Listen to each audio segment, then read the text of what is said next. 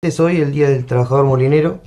Eh, esto nos remontamos a muchos años atrás, el año 1950 y algo, cuando se unieron las diferentes ramas y se creó la Unión Obrera Molinera Argentina, de la cual hoy me toca ser representante en Salto y soy parte de la Comisión Nacional del Sindicato. Eh, en Salto tenemos concretamente... Eh, eso te iba a preguntar, ¿qué cantidad de afiliados tiene? ¿Qué ¿Qué, rubros abarca? Mira, nosotros tenemos, en el sindicato nuestro representamos a tres ramas diferentes, eh, en las cuales hoy estamos en dos negociando paritarias, muy duras, dicho sea de paso. Eh, terminamos con una que es de nutrición animal, se llama CAENA, que ahí representa Metribe.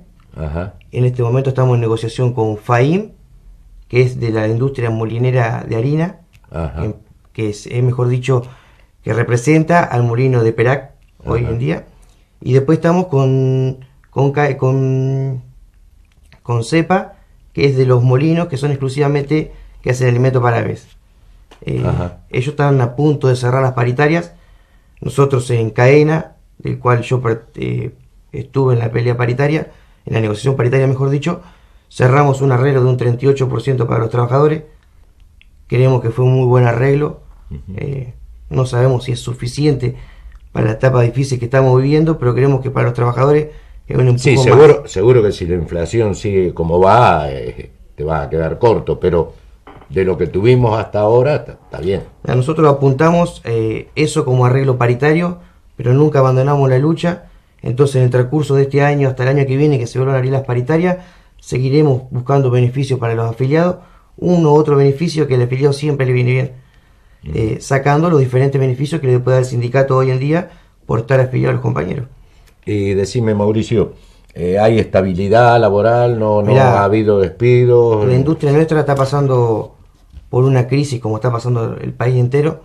Eh, hace poco tiempo, mejor dicho, el año pasado, pasamos una crisis en Metribe por una baja de trabajo importante.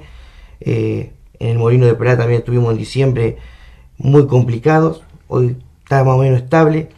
Eh, lamentablemente ellos son muy de temporada el trabajo de ellos, así que estamos en el día a día viendo el transcurso de todos los días, a ver cómo va y esperando. No nos queda otra que esperar y ver qué soluciones podemos dar a corto plazo y, ver que, cómo va evolucionando esto todos los días para ir viendo. Otra no nos queda porque lamentablemente la situación del país es tan volátil que no nos podemos tirar a futuro, lamentablemente.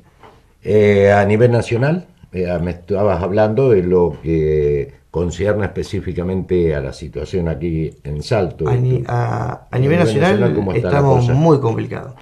Lo que es nutrición animal, que es cadena, está bien porque es una industria en continuo crecimiento, que es alimento para perro, para gato. Lo que es harinero, estamos en una, mejor dicho, una debacle total. Eh, hay muchísimo molino parado, muchísimo que está Ahí hay despidos. Sí, hay despidos, suspensiones, hay molinos con planes de lucha, lamentablemente la estamos pasando muy mal.